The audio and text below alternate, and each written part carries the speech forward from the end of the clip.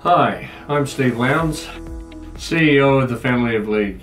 Uh, we're a wonderful and unique charity that uh, provides support to the men, women, and children of the rugby league community who are doing it tough. Um, coming towards the end of the tax year, if you'd like to make a meaningful contribution to the work we do, we'd love to hear from you. Um, all donations fully tax deductible. Please hop on our website www.familyofleague.org.au and thanks for your support. Cheers.